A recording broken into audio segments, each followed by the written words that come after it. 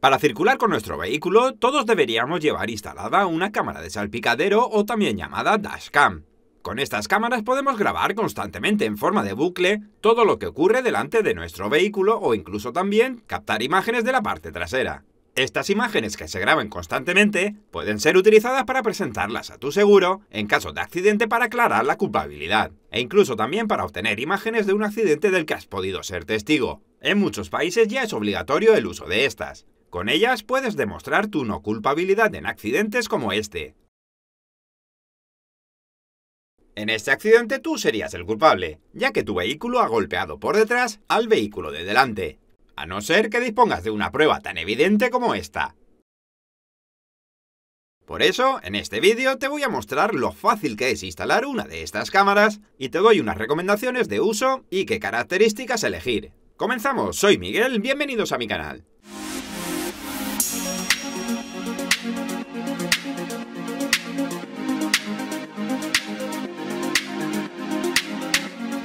Hoy voy a instalar en esta Peyote Partner la Dashcam de Biofo A129 Pro Duo. Esta cámara de salpicadero tiene una espectacular calidad de grabación gracias al sensor de imagen incorporado Sony Exmor R. Hasta ahora en mi anterior furgoneta disponía de una 70 mai de Xiaomi. La verdad es que funcionaba bastante bien pero tiene algunas limitaciones, tales como que solamente graba a 1080p, no dispone de botón de grabación de emergencia y solo admite una tarjeta de 64 GB que daba para 4 horas de grabación. Actualmente está la 70 MAI M300, que da algo más de resolución y admite hasta 128 GB. Pero esta vez he elegido este modelo de Biofo porque tiene una extraordinaria grabación en 4K a 30 fotogramas por segundo. Con esta resolución es más fácil captar matrículas a cierta distancia, ya que la imagen al estar compuesta por un mayor número de píxeles, será más fácil la lectura de esta cuando amplíes la imagen del vídeo. Además, admite una tarjeta microSD de hasta 256 GB. Dispone también de localizador GPS, con el que se podrá indicar la velocidad y las coordenadas GPS en el vídeo. Xiaomi también tiene una versión similar, que es la 70 Mi A810, con su sensor Sony Starvis 2. En la descripción del vídeo os dejo los enlaces de compra de estas y de otras cámaras de salpicadero que os recomendaría. En el contenido del paquete de la Biofo A129 Pro Duo, al igual que en todas las dashcam, incluye todo lo necesario para su instalación. Por supuesto, la cámara frontal y la cámara trasera, dos láminas antiestáticas para pegar entre el parabrisas y la cámara, adhesivos para enganchar el cableado por si fuesen necesarios, adhesivos de repuesto para las propias cámaras, el cable de comunicación para la cámara trasera un cable USB para conectar la cámara directamente al PC o al televisor, una palanca para facilitar la instalación del cableado y el cable de alimentación de la cámara principal, junto con un adaptador para la toma de 12 voltios del vehículo que brinda una segunda toma USB por si la necesitas, por ejemplo, para cargar el móvil y no deseas desconectar la cámara. Antes de pegar la cámara principal al parabrisas, Debemos ponerla en marcha para comprobar que la ubicación que vamos a elegir es la correcta. De paso le vamos a instalar también la tarjeta microSD. Recomiendo que siempre compréis la tarjeta de la máxima capacidad que admita vuestra cámara. En el caso de esta y otras cámaras de alta gama admite hasta 256 GB. Comprar altas capacidades es porque, además de tener más horas de grabación, prolongamos la vida útil de la tarjeta al reducir los ciclos de regrabado. Y siempre tarjetas de alta calidad, clase 10, U3, V30, certificadas para grabación 4K como esta. Pero para cámaras de salpicadero o de videovigilancia siempre debemos utilizar tarjetas High Endurance. Estas están diseñadas para soportar un número muy superior de ciclos de grabación, además de estar preparadas para soportar altas temperaturas. Utilizando este tipo de tarjetas tendrás menos posibilidad de perder alguna grabación. Una vez instalada la tarjeta debemos formatearla. Directamente la cámara nos pregunta si deseamos hacerlo. Para hacerlo seleccionamos OK con las teclas REC o MIC y para confirmar pulsamos la tecla central.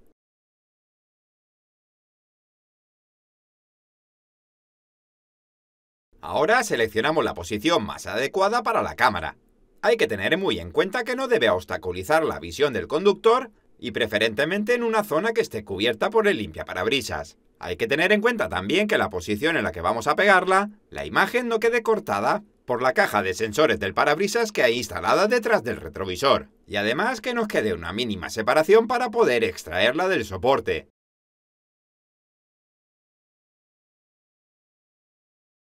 Antes de pegarla debemos limpiar muy bien el cristal para que se adhiera correctamente. A continuación pegamos la lámina antiestática, preferentemente en una posición que no nos vaya a cubrir la lente de la cámara. Retiramos el protector de la cara 1 de la lámina, que será la que va pegada contra el cristal. Y una vez pegada y retiradas las burbujas que hayan podido quedar, quitamos el protector 2.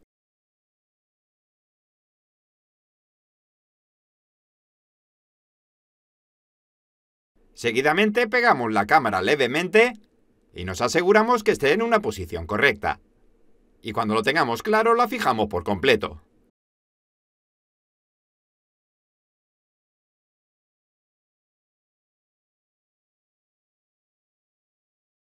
Alimentamos la cámara desde la base que tiene pegada en el parabrisas. Así no necesitaremos desconectar el cable cada vez que queramos extraer la cámara. Y ahora, comenzando desde la cámara, vamos introduciendo el cable de alimentación por todas las juntas del habitáculo por las que podamos hacerlo.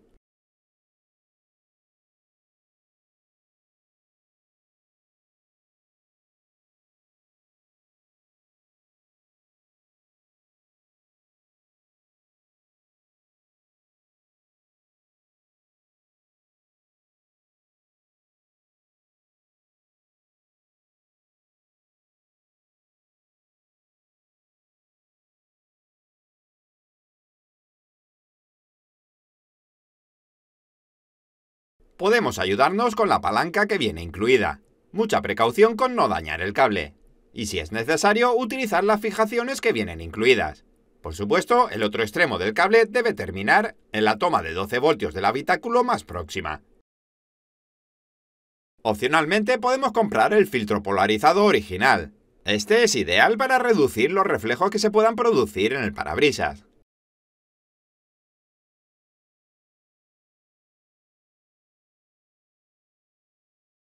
Para acceder al menú de configuración debemos detener la grabación que automáticamente se inicia al alimentar la cámara. Para parar la grabación debemos pulsar la tecla REC, y pulsando la tecla de la izquierda entramos al menú. Recomiendo que utilicéis la resolución más alta y el bitrate al máximo. Con la tecla MIC activas o desactivas la grabación de audio. Durante la grabación, si la cámara detecta que el vehículo ha recibido algún golpe, almacena en una carpeta segura el vídeo del momento del impacto incluyendo la grabación de unos segundos antes. Pero si presencias un incidente en el que tu vehículo no ha sido involucrado y por lo tanto la cámara no va a almacenar ese vídeo, pulsando sobre la tecla central de la cámara puedes decirle que guarde ese vídeo. Opcionalmente, también puedes comprar un pulsador Bluetooth, el cual podrás instalar en cualquier lugar del vehículo para darle a la cámara esa orden de almacenamiento de vídeo de forma más segura y accesible. Sobre la cámara trasera nada importante que decir, únicamente que esta graba solamente en 1080p y que el ángulo de visión es de 140 grados. Este vehículo al tratarse de una furgoneta de caja cerrada, no hay posibilidad de instalar la cámara trasera. Pero si en tu caso sí que puedes utilizarla, debes conectar esta cámara al conector de la cámara principal indicado como REAR. Una prestación muy importante de esta cámara es que la comunicación Wi-Fi es de 5 GHz, por lo que nos da una velocidad de descarga de los vídeos hacia el móvil muy alta. Debes activar la frecuencia de 5 GHz desde el menú, ya que por defecto viene a 2,4 GHz.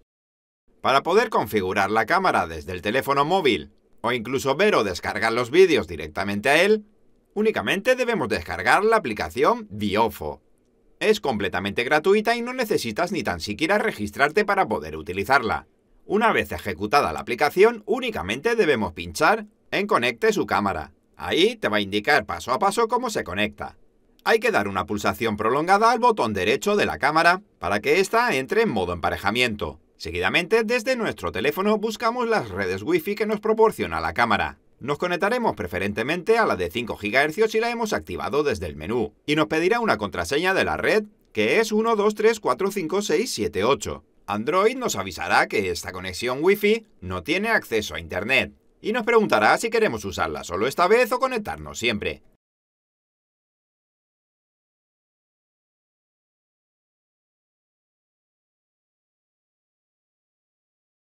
Este cableado opcional es para utilizar la función de parking.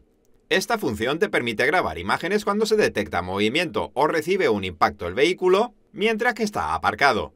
Pero para conectar este cableado se requiere manipular la caja de fusibles del vehículo y por el momento no lo voy a instalar para no perder la garantía del mismo. Así que me dejaré esta instalación para otro vídeo. Con la instalación que hemos visto en este vídeo, la cámara se pondrá en funcionamiento siempre que se ponga en marcha el vehículo. Y cuando paremos el vehículo, se detendrá la grabación del vídeo y la cámara se apagará hasta la siguiente puesta en marcha. En la función parking, la cámara siempre estará en funcionamiento, por lo que lleva un desgaste de batería. El cableado opcional de esta función tiene un módulo que se encargará de controlar la tensión de la batería y apagar la cámara si ésta está muy baja. Con el selector que tiene podemos elegir la tensión a la que queremos que se apague. No olvides mirar la descripción del vídeo. Te dejaré ahí información útil sobre la utilización de cámaras de salpicadero y enlaces de compra de cámaras y accesorios. No olvides dejar tu comentario, dale a me gusta, suscríbete al canal y nos vemos en el próximo vídeo.